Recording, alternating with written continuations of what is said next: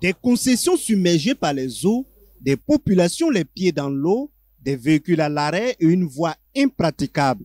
La forte pluie tombée dans la nuit du 28 au 29 juillet 2024 dans les hauts bassins a considérablement impacté le village de Badara, situé dans la commune de Bama, à une trentaine de kilomètres de Bobo Djoulasso. Selon les habitants du village de Badara, plusieurs ménages ont été affectés par cette inondation. On a appris eh, la nouvelle de l'eau depuis Ayaradougou, que l'eau arrive. Quoi, on a qu'à se préparer pour informer les gens, pour qu'ils eh, puissent commencer à faire sortir les barrages. Il y a beaucoup, beaucoup, beaucoup de familles. Ça a brillé tous les nourritures sont partis. C'est la quatrième fois que le village de Badara est touché par cette catastrophe naturelle.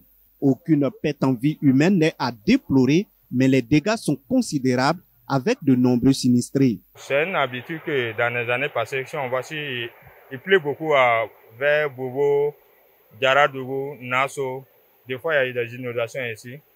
C'est pas la première fois, ça se répète. Donc l'année passée aussi, c'est arrivé comme ça. Mais cette année, c'est plus pur. L'eau est arrivé chez nous à 15 heures. Voilà, c'est arrivé ici à 15 heures. On peut dire que toutes les familles sont sauvées, mais euh, il y a les 40% des matériels qui sont restés dans l'eau. Aujourd'hui, nous ne sommes pas contents. L'eau est venue et s'est rentrée dans nos maisons. Nous avons pu récupérer certains effets, mais d'autres sont restés dans l'eau. Il y a eu beaucoup de dégâts les maisons sont tombées. Aujourd'hui, nous sommes vraiment affligés. Et certains ne savent même pas où dormir aujourd'hui. Aux dernières nouvelles, le pont qui relie la commune de Bama au village de Badara a été détruit par les eaux de pluie, empêchant tout trafic routier sur la RN9.